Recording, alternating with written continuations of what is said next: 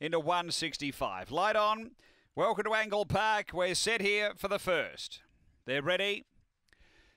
Racing, pace coming early from Bella's Flowers, going to drive. Uh, Gem Tree Apollo going quickly as they go to the first bend. Bella's Flowers going to go through and lead from Gem Tree Apollo. They go to the back. Paul Keeping gets to second now, and then came Velocity Teller. They were followed by Mars Bandit and Tahoe out the back. Down the back, Bella's Flower away by four. Paul Keeping doing the chasing. Then came Velocity Teller. They raced to the turn. Bella's Flower led from Paul Keeping. Bella's Flower grabbed by Paul Keeping, and Paul Keeping beats Bella's Flower. Third Velocity Teller, then Mars Bandit. Uh, next is Gem Tree Apollo and uh, Tahoe back toward the tail end. The time here is uh, 30 and 90 after the running of race number one and uh, was well backed. Uh, Paul Keeping 210 into a dollar 65 and uh, he got the lovely run through on the first bend and uh, was able to chase down strongly.